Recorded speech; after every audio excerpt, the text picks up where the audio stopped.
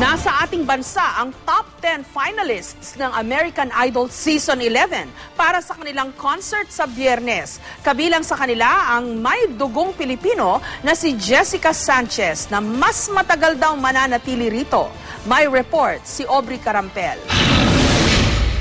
Mahigit isandaang maswerteng fans ng top 10 finalist ng American Idol Season 11 ang nagkaroon ng pagkakataong makamit and greet ang kanilang mga idolo sa press conference sa Manila Hotel kanina. It's, it's awesome, you know. I'm excited, you know, to to experience all this and to, you know, to hopefully have a good show for all of y'all, you know, on Friday.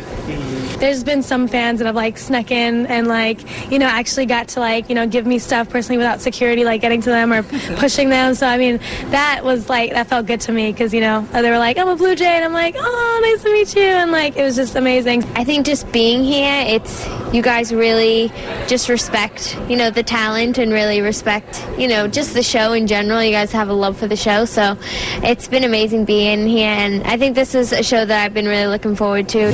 Dumating sa bansa kaninang umaga sina Philip Phillips, Jessica Sanchez, Joshua Ledet, Holly Cavanaugh, Colton Dixon, Skylar Lane, Hee-Jun Han, Elise Testone, DeAndre Brackensick, at Erica Van Pelt para sa kanilang kaisa-isang Asian concert na gaganapin sa biyernes. Alas dos pa lang ng umaga, naghihintay na sa NAIA Terminal 2 ang fans ng AI finalist, lalo na ang mga tagahanga ng half Filipina na si Jessica Sanchez, ang tinaguriang Blue Jays Philippines. Hindi naman nagpahuli ang fans ng AI winner na si Philip Phillips at season favorite na si Hee-Jun Han. It's, it's amazing. I'm excited to, to play here. So um, it's all it's all exciting. It's going to be a great concert, so come and watch. It's going to be fun. Enjoy. Manila, I love you. I'm, I'm here for the food anyways. Si Jessica excited dahil sa wakas nakabisita na siya sa bansang pinanggalingan ng kanyang ina. It just means a lot to be here um, and get to know my culture a little bit more. So and this is my first time being here, so to be here and to see all the proud Pinoys, it's it's it's a blessing. I'm going to spend a, lot, a little more time here for endorsements that I'm doing and a couple other stuff. I would really love to like hug every single one of them.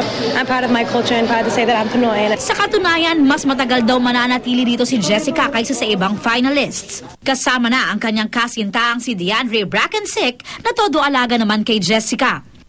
Sa press conference, present din ang lolo ni Jessica na lumuwas pa mula Bataan kasama ang ilang kaanak at ang mayor ng Samal. Sinalubong naman sila ng Lola Virgin ni Jessica na kasama niyang umuwi dito sa Pilipinas. Masaya siya kasi makikita niya yung Pilipinas at yung mga fans niya na naghihintay sa kanya. Very happy siya. First time niya. they live in uh, Bataan, so I'm going to try to make some time. Samantala, sa Bataan, di magkamayaw ang mga kababayan ni Jessica sa balitang nasa bansa na ang idol finalist. Kanya-kanya namang paanyaya ang mga taga-Bataan na umaasang mabibisita sila ng kanilang idolo sa mga susunod na araw. Aubrey Carambel, GMA News.